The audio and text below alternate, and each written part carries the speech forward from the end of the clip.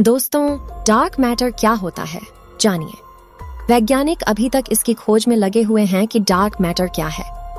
आज तक यह रहस्य बना हुआ है कि डार्क मैटर किस चीज़ से बना है। ऐसा माना जाता है कि अंतरिक्ष का 95 फ़ीसद हिस्सा डार्क मैटर और डार्क एनर्जी से मिलकर बना है। ऐसा अनुमान है कि लगभग 23 प्रतिशत हिस्सा डार्क मैटर ही है। एंटी मैटर की दूर तक कोई सत्ता नहीं है, लेकिन डार्क मैटर सब जगह है।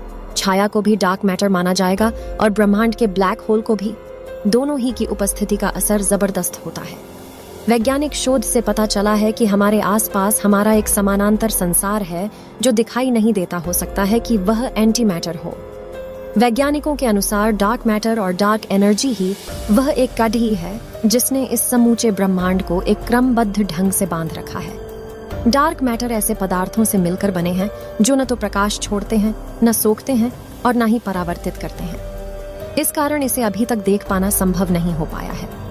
आकाश गंगाओं की खोज में तारों का पीछा करते हुए वैज्ञानिकों ने डार्क मैटर को खोजा, लेकिन वो इसके बारे में कभी सही जानकारी नहीं जुटा सके। रिसर्च से यह पता चला कि सभी आकाश गंगा के ग्रह, तारे और नक्षत्र ग्रेविटेशनल बाइंडिंग एनर्जी के कारण स्थिर है।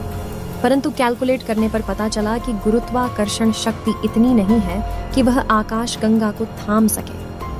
मतलब कुछ और ही अज्ञात चीज़ है जो इन्हें थाम रही है। अन्यथा, अब तक गुरुत्वाकर्षण शक्ति कमज़ोर हो गई होती और सभी ग्रह नक्षत्र तारे अपने परिक्रमा पथ से भटक गए होते। इसी सोच ने डार्क मैटर की अवधारणा को बल दिया। डार्क मैटर ही वह मैटर है जो इस ब्रह्मांड को द्रव्यमान दे रहा है। इसके अलावा एक और प्रमाण बुलेट तारा समूह के अध्ययन के दौरान मिला, जब दो गैलेक्सी के टकराव से ये समूह बना।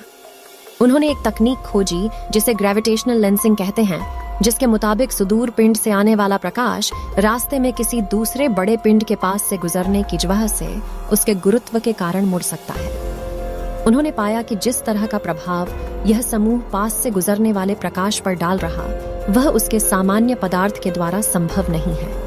और इससे यह भी पता चला कि गैलेक्सी में सामान्य पदार्थ की तुलना में डार्क मैटर की मात्रा ज़्यादा होनी चाहिए। दोस्तों, आपको ये जानकारी अच्छी लगी है तो लाइक कर दें।